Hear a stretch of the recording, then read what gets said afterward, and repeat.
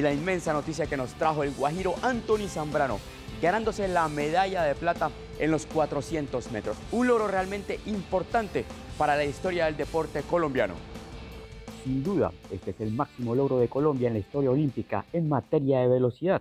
Zambrano empezó sufriendo el ataque de sus máximos rivales y se fue relegando, pero luego llegó su fortaleza, su especialidad, el remate, y allí hizo una espectacular remontada para cruzar la línea de meta con una marca de 44.08 segundos, solo superado por Steven Garnier de Bahamas, que hizo un registro de 43.85, llevándose el oro. En ese momento Colombia explotó y Zambrano dedicó su triunfo a lo más querido. El bronce fue para el granadino Kirani James, uno de los más grandes del mundo, con un tiempo de 44.19 y quien vio con impotencia cómo el colombiano lo superó en los últimos metros.